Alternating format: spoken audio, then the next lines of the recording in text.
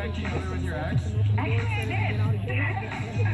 I bet you your ex had that plan the whole time. Maybe. He had a friend, he's like, go date her, get really drunk, and I'll look like the hero. That's what ended up happening.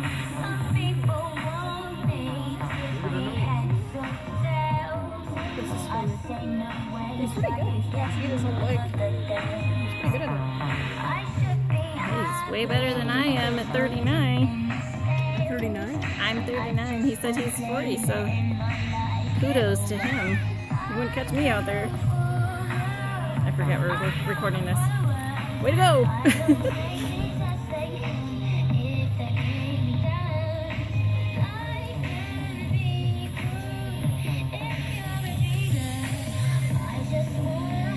Wait, did saying that? I'm sure it did.